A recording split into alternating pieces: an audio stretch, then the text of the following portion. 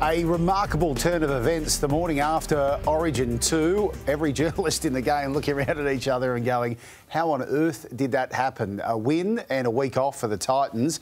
And the next thing you know, Justin Holbrook, despite that, is shown the door. Des Hasler immediately parachuted in from 2024. Michael, why did no one see this coming? Well, I think people saw Holbrook being moved on. I don't think they thought it was going to happen this quickly, uh, and especially talk around uh, Des Hasler. There hadn't been much talk around Des Hasler. The Dragons hadn't even interviewed Des Hasler, and then all of a sudden, as you said, the day after Origin, he's he's leaving the club, Holbrook, and, and Des is in. So uh, it's a it's a tough call. I think the Titans are now four points away from the top of the table, but the club thinks that, as he said, he's done a good job. They need more than good. The, the, Titans feel like they've got a roster now that can take the next step, and who better than the guy who's done it time and time again than Des Hasler? I, it was ruthless, but you have to applaud them. How long had he been there for?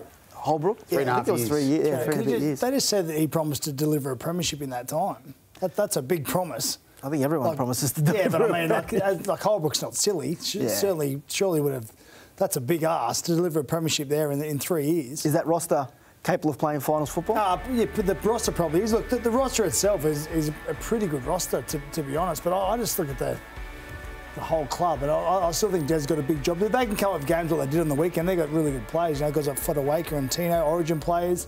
Um, but I think overall, to be consistent week in week out, they've got to, they've got to be a defensive based side. We just heard Billy Slater say then, and I, I think. Um, yeah, I think Des got a, a job in his head to turn him around to, to think like that, or to be like that. I feel like a lot of guys go there you know, for the money, um, and I think you've got to be at a club for more than just money. Did the Titans play this well, Gus? Oh, a round of applause. Absolutely brilliant.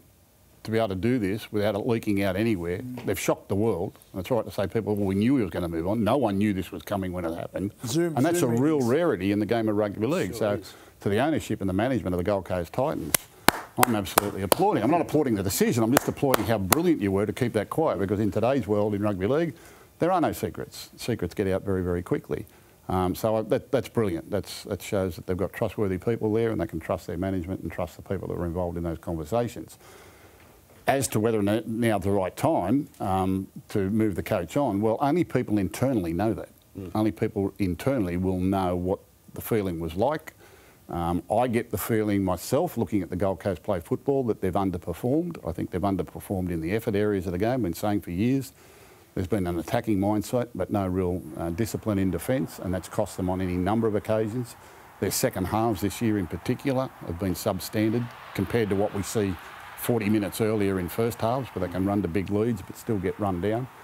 They showed yesterday what their potential was in beating the premiership uh, leaders of the competition, fair and square um, at Suncorp Stadium. It's a, it's a good football team with a good roster. There's a lot of teams out there that would love to have the roster that they've got at the moment. Um, so in that respect, I guess the Gold Coast Titans not so much got impatient, but all of a sudden someone knocks on their door and says, look, I can deliver Des Hasler. Is that how it would have unfolded? I can only imagine that's how it was. And said, here is a bloke who can get you from where you are to where you need to be. All right, all the hard work is done, the recruitment's done.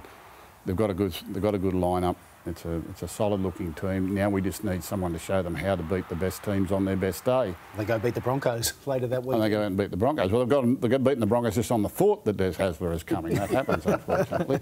Justin Holbrook is a great bloke. He's a fine coach. He's got a great record in England, UK, and I think he did some wonderful things. I love their attacking football of the Gold Coast Titans, but for whatever reason, they didn't deliver in the other parts of the game. And someone at the Titans has got impatient and I can't knock the fact that they've that they've signed Des Hasler, who's one of the great coaches in our game. He's got a wonderful history of success and will attract players. He will attract players, and he will get results up there. It's a, I think it's a real turning point for the Gold Coast Titans. Okay, and that's nothing against Justin Holbrook. Justin Holbrook will get another job. He'll get another job somewhere, and he's got to learn from from this experience. But um, Des Hasler, I can't knock that recruitment at all. I think it's a, a great move for the Gold Coast Titans, and again, I applaud the swiftness and the secrecy and the way it was executed.